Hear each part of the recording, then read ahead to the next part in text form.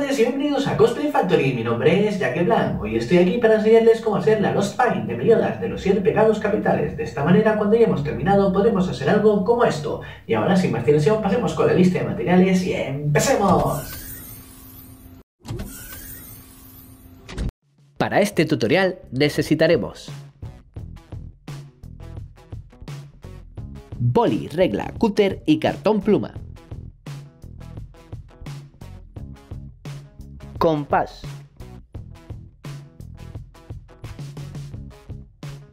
Lima.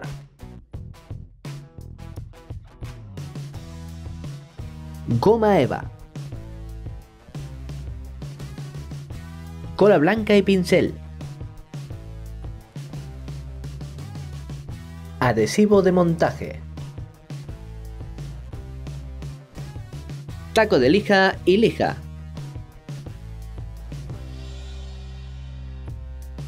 Tijeras y cinta de carrocero. Pinturas. Varilla roscada. Pegamento instantáneo universal. Cinta de raso.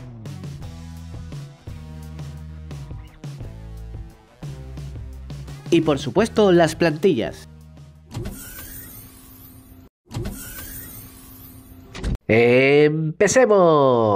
Lo primero que debemos hacer será cortar las plantillas. Dejaré un enlace para descargar las plantillas en la descripción del vídeo. Para cortar la parte de la hoja, nos ayudaremos de la cinta de carrocero. Uniremos las dos mitades de la hoja y las cortaremos de una sola vez. No hace falta que cortes los círculos del interior, ya que su función es la de utilizarlos como guía. Corta el resto de las piezas solo por la parte exterior. Las marcas que están en el interior las utilizaremos como guías. Una vez que lo tengas todo cortado, podremos pasar al siguiente paso. Ahora vamos a hacer la hoja. Comenzaremos pasando la plantilla de la hoja a un trozo de cartón pluma de 5 milímetros. Para marcar los círculos que van por el centro de la hoja, nos ayudaremos de la punta metálica de un compás. Tendremos que sacar dos piezas. Marcaremos tanto la línea central como la línea en la que se unen las dos partes de la hoja y trazaremos una línea por la parte central. Luego, con la ayuda del compás, marcaremos los círculos interiores. Una vez que lo tengamos todo marcado, lo cortaremos con la ayuda del cúter de precisión. A la hora de cortar los círculos internos, no te preocupes si no te quedan perfectos. Te aconsejo que los cortes un poco más pequeños de la línea que has marcado, ya que luego con la ayuda de la lija lo llevaremos a su sitio y a su forma.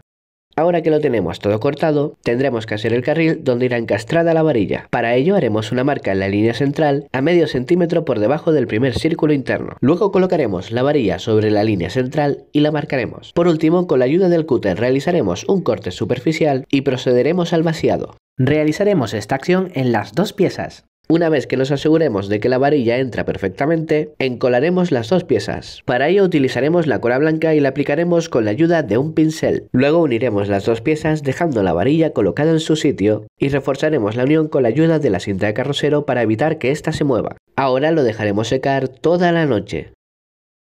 Una vez que esté seco, retiraremos la cinta de carrocero y comenzaremos a lijar. Lo primero que haremos será retocar los círculos internos. Para ello cogeremos un trozo de lija y lo enrollaremos en un lápiz. De esta manera tendremos un accesorio de lija curvo para poder redondear los círculos sin ningún problema. Para lijar la parte de los semicírculos podemos ayudarnos de una prensa. Por último igualaremos bien todos los perfiles y podremos comenzar a sacarle filo. En este caso el filo de la hoja va desde la parte central hacia los extremos, por lo que completaremos la línea central para usarla de guía y lijaremos inicialmente con una lija de grano grueso hasta conseguir la forma deseada. No te preocupes si se despega la capa exterior de papel, no pasa absolutamente nada, continúa lijando. Por último remataremos todo con la ayuda de una lija de grano fino. Para igualar y lijar la parte de la espiga puedes utilizar una lima. Una vez que estés conforme con el lijado podemos pasar con la siguiente pieza. Ahora vamos a realizar la guarda. Para ello necesitaremos las plantillas y 5 rectángulos de cartón pluma de 5 milímetros, de 9 centímetros de largo y 5 centímetros de ancho. Cogeremos dos de estos 5 rectángulos y marcaremos su centro. Luego, ayudándonos de la plantilla con forma de elipse más grande, marcaremos el rectángulo interno en las dos piezas de cartón pluma. Y por último lo cortaremos con la ayuda del cúter. Este agujero será el encastre donde irá metida la espiga de la hoja. Ahora cogeremos dos de las tres piezas que quedan de cartón pluma y marcaremos también el centro. Luego con la ayuda de un lápiz haremos una perforación en este centro y ayudándonos con la varilla agrandaremos el agujero hasta que entre esta. Ahora cogeremos la última pieza de cartón pluma, marcaremos el centro y colocaremos sobre esta la plantilla circular más pequeña y marcaremos su contorno. Una vez que tengamos todo marcado, haremos igual que con las dos piezas anteriores. Utilizaremos un lápiz para abrir un agujero y la varilla para agrandarlo hasta que ésta encaje perfectamente. No te olvides de marcar las líneas rectas perpendiculares que están en su interior. Ahora colocaremos las piezas una encima de las otras en orden inverso a como las hemos manipulado y en la primera pieza que cortamos marcaremos el contorno de la elipse. Ahora tendremos que encolar y unir todas las piezas. Ten en cuenta que la pieza que irá en la parte de arriba es la que tiene dibujada la elipse y la que irá en la parte de abajo es la que tiene dibujada la circunferencia. Es importante que los dibujos queden hacia afuera, ya que nos servirán de guía para poder darle forma a la pieza. Una vez que tengamos todas las piezas encoladas, las uniremos y las sujetaremos con la ayuda de la cinta de carrocero para evitar que se mueva. Ahora lo tendremos que dejar secar. Una vez el pegamento haya secado, retiraremos la cinta de carrocero y comenzaremos a darle forma. Para ello nos ayudaremos de un taco de lija y una lija de grano grueso. Primero igualaremos bien todas las caras. Luego cogeremos la pieza que tiene forma de trapecio, la colocaremos en uno de los lados largos y marcaremos su contorno. Luego haremos lo mismo por el otro lado. Esta pieza define la forma de nuestra guarda. Para no tener que lijar tanto, nos ayudaremos de una segueta para cortar el taco de cartón pluma por la línea que hemos marcado. Cortaremos dejando un margen de medio centímetro desde la línea hasta donde nosotros vamos a cortar, ya que de esta manera nos aseguramos tener material suficiente para arreglar cualquier desperfecto que pueda ocurrir. Una vez que le hemos dado forma con la ayuda de la segueta, Tendremos que continuar dándole forma con la ayuda de la lija. Podemos ayudarnos de un torno para sujetar la pieza evitando que se mueva y facilitándonos así el trabajo. Vas a estar un buen rato dando lija, así que no desesperes, tómate todo el tiempo que necesites y hazlo con mucha calma, ya que lo importante es que quede perfecto. Una vez que hayamos terminado de darle forma con la lija de grano grueso, remataremos la faena con la lija de grano fino. Ahora que ya lo tenemos todo lijado, tendremos que realizar el encastre donde encajará el mango. Para ello, con la ayuda del cúter, realizaremos unos cortes superficiales por la parte de debajo de la guarda, la que tiene forma circular con las dos líneas perpendiculares. Realizaremos los cortes por estas dos líneas. La profundidad de los cortes será de aproximadamente medio centímetro. Luego, con la ayuda del cúter, terminaremos de darle forma al encastre. Y ahora que lo tenemos listo, podemos pasar a hacer el mango. Para hacer el mango necesitaremos las plantillas y un trozo de cartón pluma de 5 milímetros. Marcaremos en este dos veces la plantilla del mango y una vez que lo tengamos todo marcado lo cortaremos con la ayuda del cúter. Luego tendremos que trazar una línea por toda la parte central, ya que tendremos que hacer un vaciado en esta zona para que encaje la varilla. Como en el caso anterior, colocaremos la varilla en la línea central y marcaremos su contorno. Luego realizaremos un corte superficial con la ayuda del cúter por todo este contorno. Y por último, ayudándonos tanto del cúter como de la varilla, realizaremos el vaciado. Realizaremos esta acción en las dos piezas que conforman el mango. Una vez que lo tengamos listo, encolaremos y uniremos las dos piezas. Una vez que lo tengamos encolado, nos ayudaremos en la cinta de carrocero para evitar que se mueva. Lo dejaremos secar toda la noche y una vez que esté seco retiraremos la cinta de carrocero e igualaremos bien toda la pieza con la ayuda de la lija. Inicialmente le daremos con una lija de grano grueso y una vez que estemos conformes con la forma obtenida, remataremos la faena con la lija de grano fino. Ahora que tenemos esta pieza lista, podemos pasar a hacer el pomo. Para hacer el pomo necesitaremos las plantillas correspondientes y dos piezas de cartón pluma de 5 milímetros de 6 centímetros de largo por 4 centímetros de ancho. Lo primero que haremos será marcar las líneas centrales en las dos piezas de cartón pluma. Luego cogeremos una de ellas y trasladaremos las marcas de la elipse más grande al interior de esta, es decir, el rectángulo que hará de encastre para introducir el mango. Y luego lo cortaremos. En la otra pieza de cartón pluma tendremos que hacer un agujero con la ayuda del lápiz y agrandarlo con la ayuda de la varilla, pero en esta ocasión el agujero no tiene que traspasar la pieza, sino que llegar solamente hasta la mitad de esta.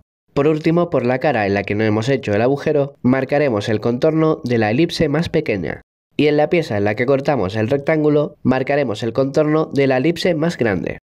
Ahora uniremos estas piezas con la ayuda de la cola blanca. Eso sí, recuerda que las partes en las que están dibujadas los contornos tienen que quedar hacia afuera, ya que nos servirán de guía para darle la forma a nuestro pomo. Una vez que hayamos unido las dos piezas, reforzaremos la unión para evitar que se muevan con la ayuda de la cinta de carrocero y lo dejaremos secar. Una vez que se haya secado, quitaremos la cinta de carrocero y podremos darle forma. Para ello nos ayudaremos inicialmente de la lija de grano grueso y remataremos la faena con la lija de grano fino. Vas a estar un buen rato lijando, así que no desesperes. Tómate todo el tiempo que necesites. Ahora que lo tenemos listo podemos pasar a ser el embellecedor de la hoja. Para hacer el embellecedor de la hoja solo tendremos que copiar la plantilla en un trozo de goma eva de 2 milímetros. Tendremos que hacer dos copias. Una vez que las tengamos marcadas, las cortaremos con la ayuda del cúter de precisión. Y ahora que lo tenemos listo podremos pasar con la pintura. Ahora vamos a preparar todas las piezas de cartón pluma para la pintura. Para ello les daremos a todas una capa de cola blanca. Aplicaremos la cola blanca con la ayuda de un pincel y luego la extenderemos bien con un rodillo de espuma. Encolaremos primero una de las caras de las piezas, lo dejaremos secar y luego encolaremos la otra cara. Una vez que se haya secado la cola, le daremos una lija suave a todas las piezas. De esta manera nos aseguraremos un mejor acabado. Una vez que hayamos terminado de lijar todas las piezas, podremos pasar a darle la imprimación.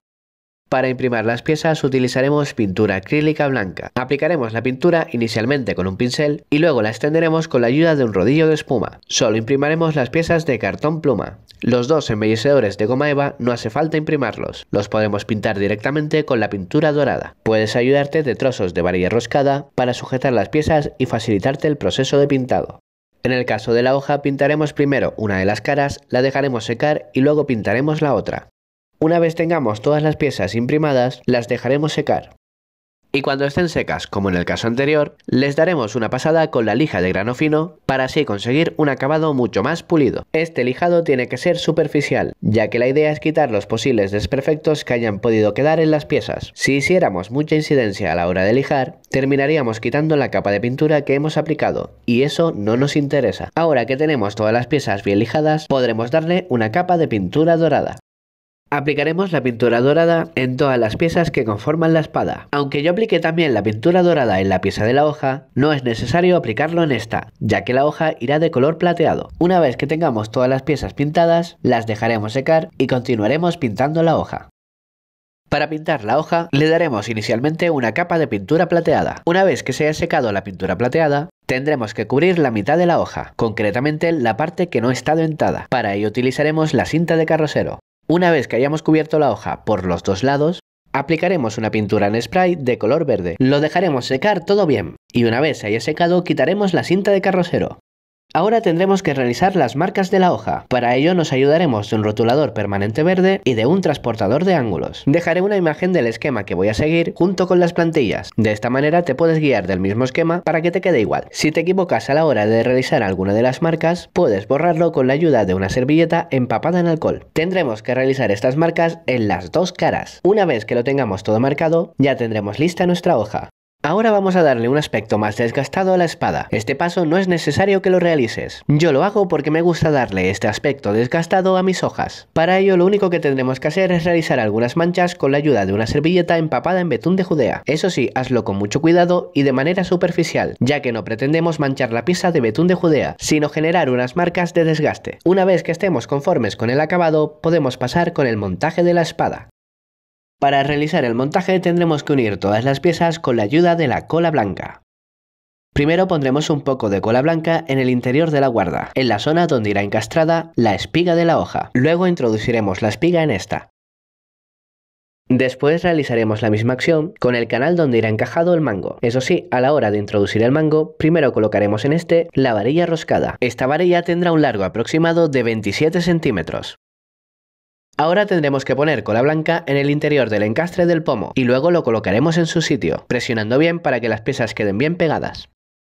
Por último tendremos que colocar los embellecedores de la hoja. Para ello nos ayudaremos del adhesivo de montaje. Colocaremos un poco de adhesivo de montaje por la parte de detrás de los embellecedores y luego los colocaremos en su sitio. Para evitar que se muevan mientras se seca, los sujetaremos con la ayuda de la cinta de carrocero y los dejaremos secar unos 15 o 20 minutos. Una vez que se hayan secado, retiraremos la cinta de carrocero y podremos darle los últimos retoques a la espada.